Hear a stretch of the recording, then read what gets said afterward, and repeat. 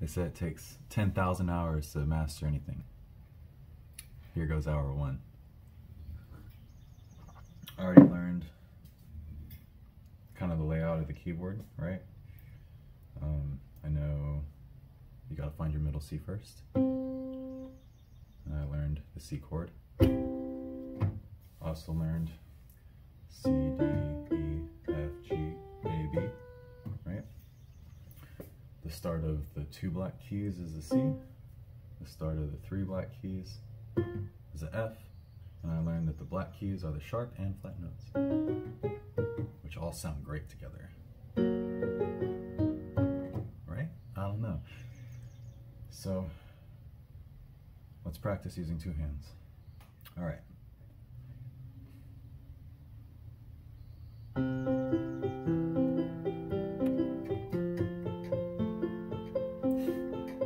Whole lot better than I was a few minutes ago, alright? I swear I was messing it up so much.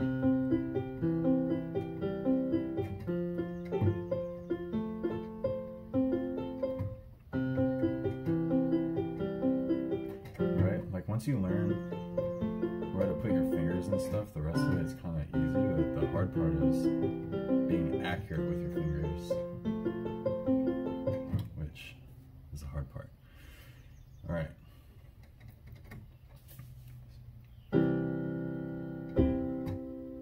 C, F, G. I think that's a good start. I'm gonna play around with this for an hour today. All right, been practicing a little bit, just playing that same thing over and over again. And I kind of find that I can stay in the rhythm if I sway side to side. I watched one of my friends do it while she played the piano, so I'm gonna take that trick and apply it here, right?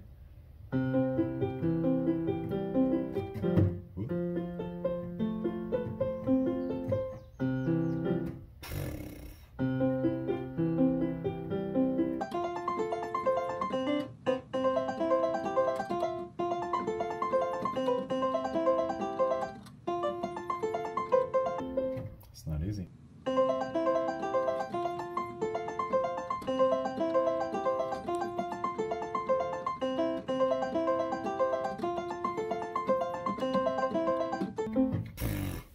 it's not easy.